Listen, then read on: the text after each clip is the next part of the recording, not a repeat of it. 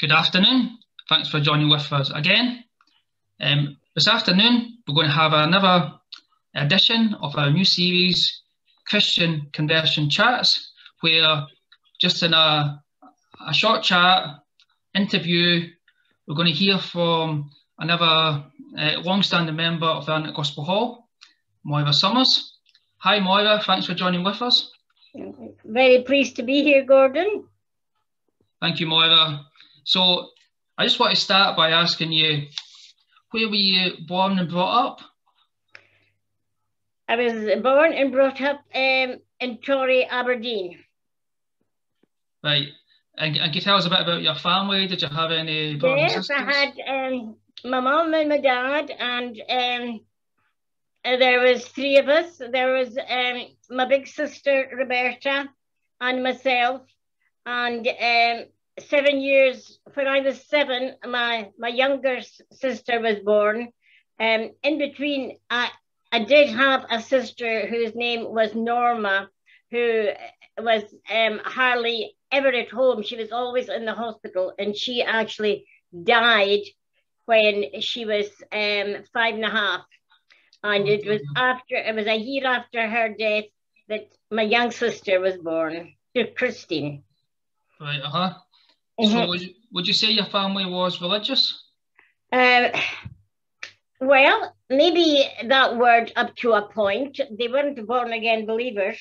Mm-hmm. But um, my mother saw to it. Um, my mother was a member of the um, of the Anglican Church, and there was one in a short walking distance. So we went to the church there and followed by the Sunday school when we were old enough to go. Um, and fortunately, we stayed opposite, right opposite um, Victoria Hall in Torry, which uh-huh. was a gospel hall. Mm-hmm. And their Sunday school was at three o'clock. Uh-huh. So after we had our lunch, we trotted across to their Sunday school. So we were we were um, we went to two Sunday schools. Right, uh-huh. Where, where was it you heard the gospel then? Or how did you hear the gospel? Right, well, um, that's quite hard, but I was always aware that there was a God. Mm-hmm. Always, that was that was um, that was never an issue. And as I say, we went to the church with my mother in our earlier years, and um, we went to two Sunday schools. And so I was always aware that there was a God and that yeah. he was he was watching. But um, I didn't really become a Christian until I was 15. Mm-hmm. Didn't um, until you know I was I was born again when I was 15 because I realized that although I did read my Bible and although I went to church and Sunday school, um, I just had a growing sense that I wasn't I wasn't a Christian. It was a, it was a slowly dawning on me, mm-hmm. and um, and I remember one night just coming out of the of a gospel meeting, and I was 15, but then and I just um, bowed my head and I just confessed that um, Jesus was Lord and I, I, wanted to be a Christian. And all at once, there was a seemed to be a whole burden lifted from me, some somehow or other. And I was, uh-huh. I was, I felt very, very light after that. And um, and so I just went on. I got um, baptized by immersion, um, mm-hmm. according to the scriptures. Just um, I this I got I was baptized uh, several months after I was saved, and then um, when I was um, 16, I was added to the company of believers um, in the Gospel Hall in Torry. So, mm-hmm. and my big sister, of course, uh, she actually got saved when she was 10. Right uh, she, was, she was less than two years older than me. I think there was a year and eight months between us. So we were always very close. And uh-huh. um, so, and she was um, a member of, of Torry uh, uh, Gospel Hall at that time as well. So um, as I say, I was baptized and added to the company. And um, there yeah. we were, my big sister and myself. Yeah, uh huh, uh huh. So, when was it you when you you started doing your, your nursing training then? Was it around that right. time? Or? Yes, well, I left school when I was 16 and uh, a year, uh, and I worked in an office for a year and just slowly it came to me, um, I don't want to do this anymore. And um, I realized uh, I was really quite keen on nursing. So mm-hmm. um, I applied to the Sick Children's Hospital in Aberdeen when I was 17 and I was accepted and um, I did my training there. It was a three-year training and um, I was um, a registered um, sick children's nurse after that. Uh, was it around that time that Roberta was looking after you all? My um, my mother died when when I was 18. She she she had a, a quick a quick growing cancer. Uh, in fact, very very quick she she died within being six weeks of um, of being diagnosed, mm-hmm. and um, I was um, I was in my first year of nursing at, at, that time, and I remember coming off night duty and the night sister saying to me, um, um, by the way, she said I got a phone call about four o'clock in the morning, um, just to just to uh, say that my mother had passed away, you know, oh, in the house, in the home. Mm-hmm. She was nursed in the home. Um, my big sister, she took time off work and she um, she actually nursed my mother. Right, uh-huh. uh-huh. Mm-hmm. So I was 18, Roberta was 20, and Christy was still at the primary. Just, I think she would have been at P6 or P7. Mm-hmm, mm-hmm. So when you finished in your nursing training in Aberdeen, what did you do after that? Right. Well, towards um, towards the end of my training, I began to think um, of my general training, and mm-hmm. um, but I realised that um, for some reason or other, I wasn't keen to go to Aberdeen Royal.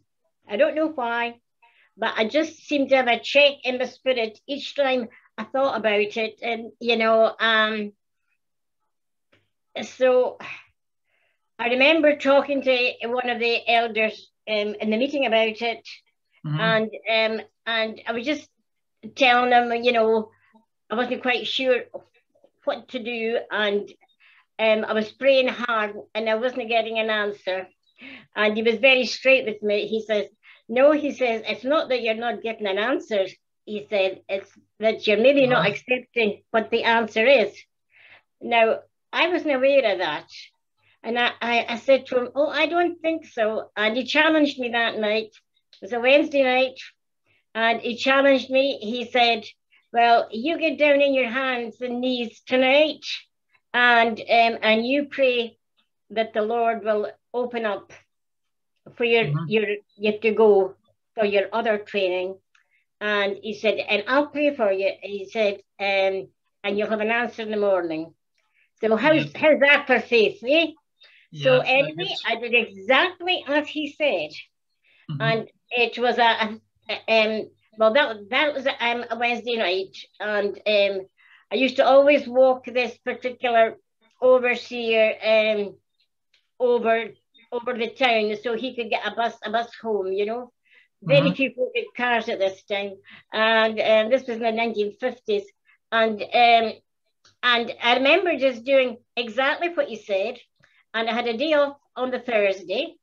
And when I woke on Thursday morning, Glasgow Royal Infirmary was ringing in my ears. Yeah. Now, I had never, I, well, I was going to say I never heard of Glasgow Royal Infirmary, but I would have known that there was a Royal Infirmary in Glasgow. But I mean, I didn't know anything about it. I mm-hmm. did. I didn't know a thing about it.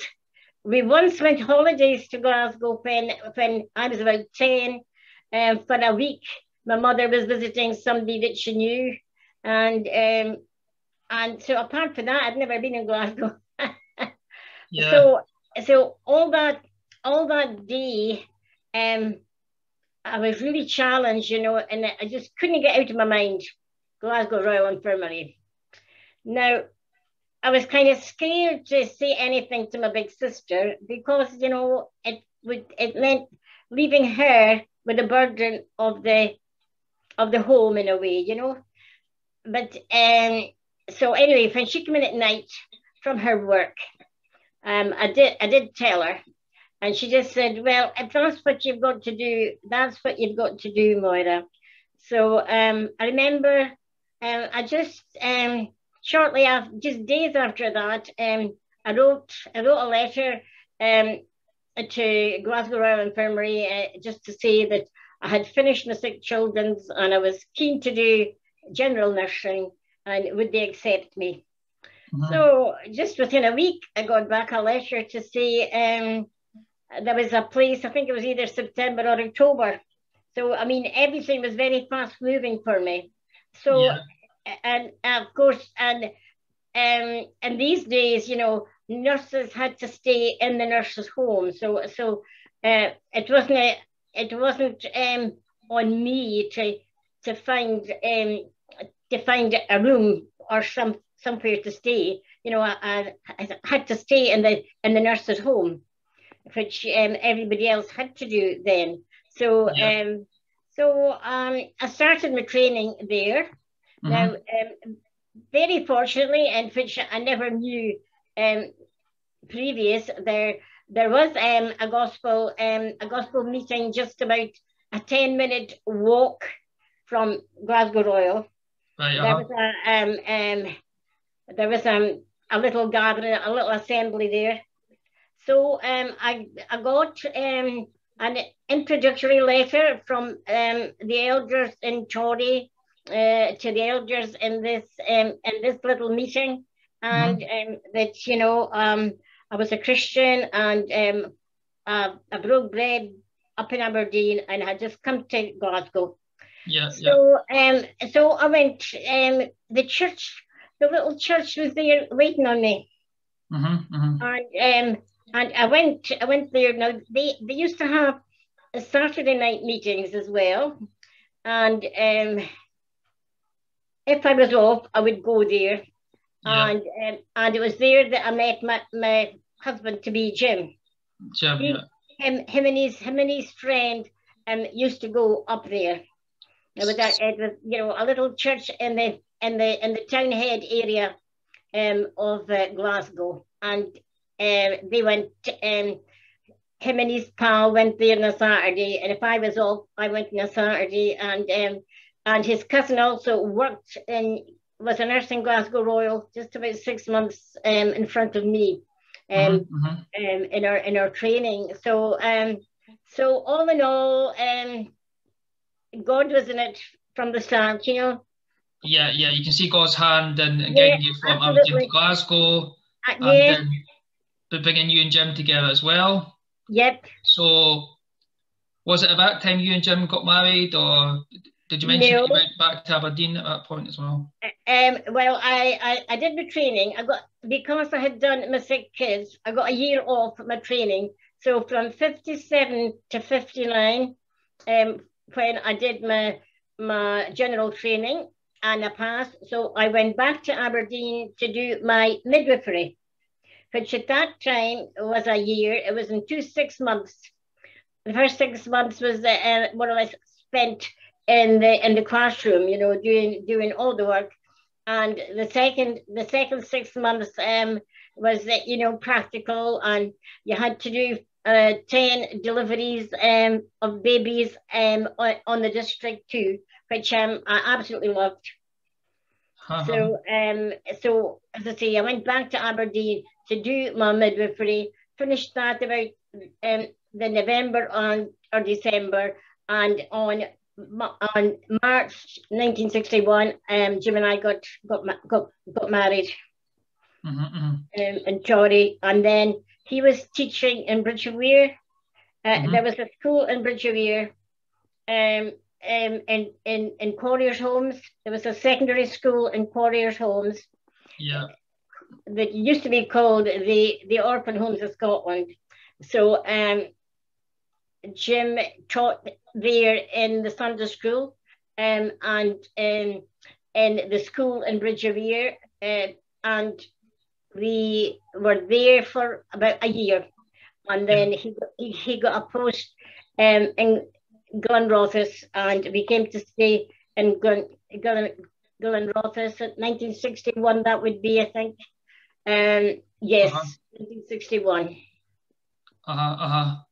And I can remember the time when you came, you, you and Jim came to Kennoway and you were you were members there. But I don't yeah. I, I don't think Jim was working at that time, was he? Well, um, I can't I can't I can't remember that far back. I mean, Jim um, Jim he he took a heart attack in um, in 1952 actually, and then um, he um, he retired. Um, I think in 59, um, he would have retired. He was um, he was he was 59 when he retired in, anyway from school. Mm-hmm. And um, I had haven't mentioned I've got two sons, um, David and Martin. Yeah, yeah. Um, I remember Jim well actually. As you say, uh-huh. it was he, he retired from the school, but I remember that he would visit lots of people in the assembly. He would visit my family. Oh, and actually, yeah. in, in the old bedroom I have at mum and dad's house, there's mm-hmm. actually still shelves that you put up in that old mm-hmm. bedroom mm-hmm. that had was, all my books on it. He was very handy, and he was a great visitor. You know, um, um, he he did he did a lot of um visitation to uh, people. You know, so that was his um once once he retired from school. That's just what he spent his time doing, helping others, and yeah, yeah, um, yeah. Uh-huh. meet, meet, meeting their their needs either physically or spiritually, you know, or practically, you know. So. Um, uh huh. Uh huh. Yeah, he was very, very, very good at that, as you say, and it was oh, appreciated oh, by mm-hmm. lots, lots of people. Yeah, yeah. Yes, you could do anything. It was just one of these very handy people. It didn't matter what you asked him to do, he would, he would, he would do it. You know, he was excellent. Mm-hmm, mm-hmm. Mm-hmm. So that was it, and then and then he died when he was fifty nine. Mm-hmm. And uh, he died. He died. Um, he died in the May, and I was I was sixty um, on the July, and I was working two days a week, mm-hmm, mm-hmm. and um, I retired. I retired when I was sixty. Mm-hmm.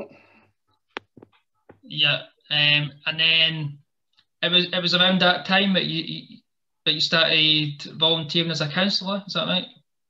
Yes, I, I want to um, just um, well, Jim died anyway, and I think towards the September October there was um, a course um, advertised by Cruse, you know, Cruse, Cruse Bereavement, um, mm-hmm. who that their offices then was in Methil. Uh, um, I don't know if they're still there, but anyway, Cruse Bereavement, they were they were offering um, a foundational counselling course, which was six months, mm-hmm. and um, and I thought, oh, I would just love to do that. So that's what I did. Yeah, I did yeah. that, and then that year as well, um, there's a, counselling centre in Leslie, and I, I, I went to work um, on the desk there, you know, taking mm-hmm. phone calls and and that kind of thing, and just um, running, making tea for um, you know, um, so, so some of the counsellors um, and the clients. So, um, so that was me. So I was uh, totally occupied once I once I had um, retired, you know. I, I really, I really enjoyed my, my time with Cruse. It was lovely. I, mm-hmm. I like Cruse. Um, I like that. Uh huh. Uh huh. Um, and because you'd been bereaved, God was able to help you to counsel other people that were bereaved. Oh yes, um, undoubtedly. Now I'm not saying that a person who hadn't been bereaved you know, couldn't couldn't do bereavement counselling. But what I'm saying, the very fact that you've that you've been where they've been, you know, um, it, it just it just it just opens up um many many aspects um of uh, counselling. Well, I felt that anyway, you know. Um, yeah, yeah. Mm-hmm. I I I just felt that you, you could bring something to it that maybe others just couldn't if they've never gone through. Although everybody's bereavement experience um, is different, you know. Yeah, yeah, uh-huh, uh-huh. Mm-hmm. So we should mention as well then after Jim died, um, you had your big sister Roberta living nearby, and, and she was quite a character as well. Uh, yes, my big sister, she was um, in her mid 20s. Uh, she went to work in the prison service. Uh-huh. And um, Greenock was where the um,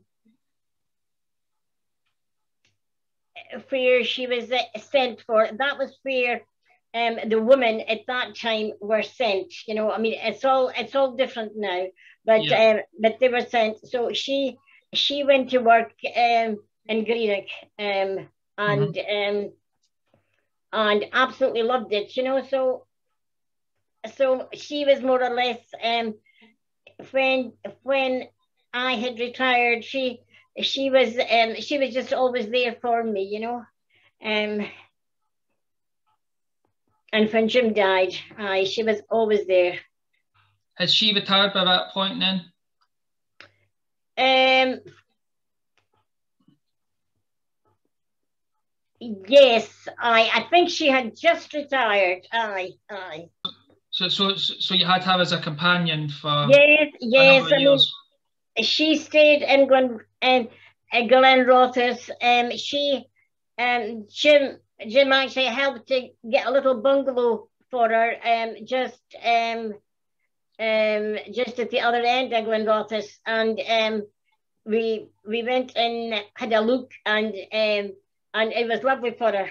It was a two bedroom bungalow, and um it just met her every need, you know. So um, and when she came home, she she had a, a, look at it and was um, very happy. So she actually was able to sell the little house that she had um, in Leslie, and she um, moved into a bungalow um, in Glenrothes.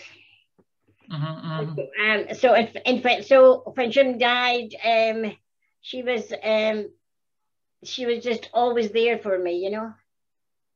Mm-hmm, mm-hmm. Yeah, as, as I say, I've got very fond memories of uh, as well. I've actually, I've actually got a, a, couple of books and Bibles that, that she gave me as a gift. Um, and she was she was a very mm-hmm. kind person and and like you mentioned before, she she, she, she, she had that gift Kenny, as a boss. She, her job was to be a boss Yes. And then she, she liked to get people right as well in a, in yes, a nice way. Yes. Uh-huh. But you know, Gordon, she she she always had a stack of Bibles and she and she had a desire um to give people Bibles, you know, and um just if she felt so that she wanted to do it, she would just do it, you know.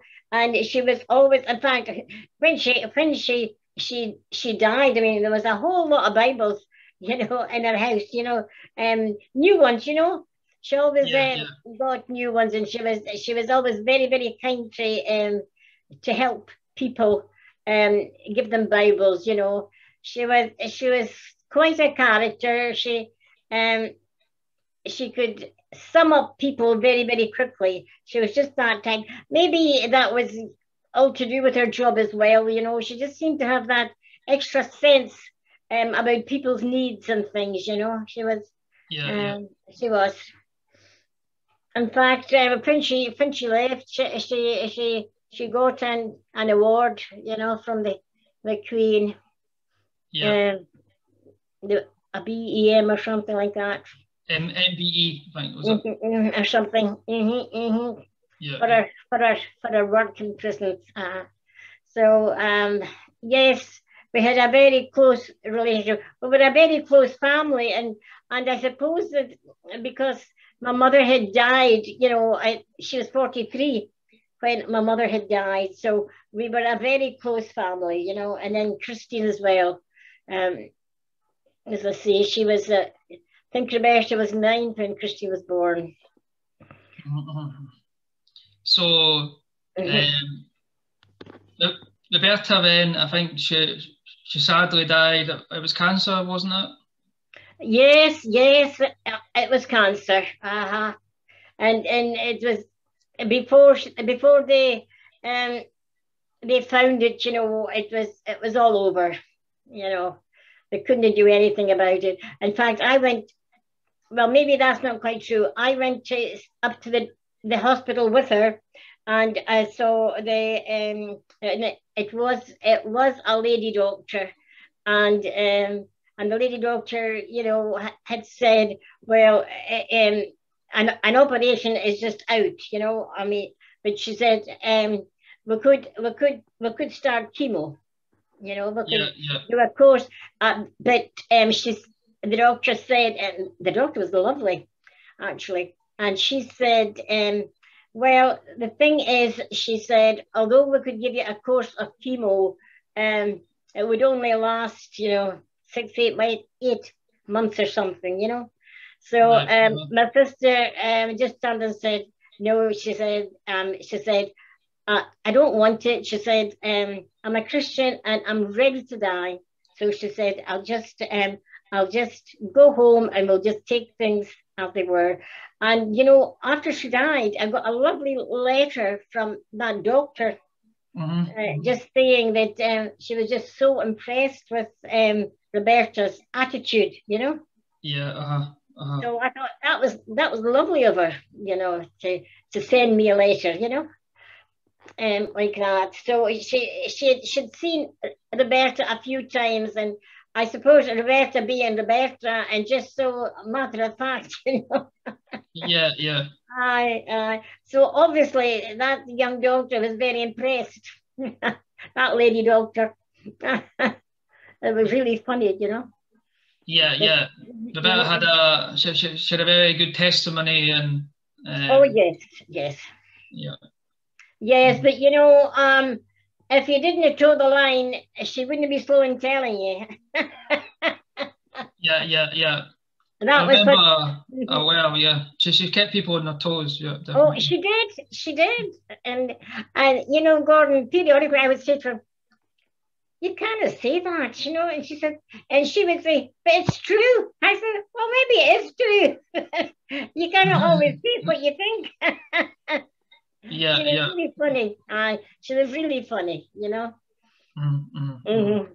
But that was her, you know. So, so I was, I was, I was really bereft twice, you know. Once with Jim, and then next time with um, Roberta.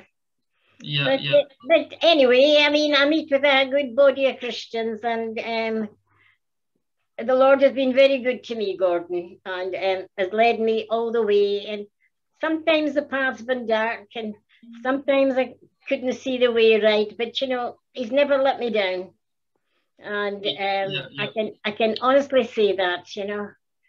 Yeah, yeah. So that's a very good testimony you have. You've you've lived a, a long life, and you've been a Christian a long time Yes. And the, and the Lord's never let you down. No, no, no. I, I'm, I'm not saying that I always got what I asked for, because mm-hmm. um, that just that just wasn't his his will for me. But you know, I've always um, accepted that. I just prayed. I've just prayed about things and um, and just left it with the Lord. You know, and um, I look back. I've no regrets. I've no regrets.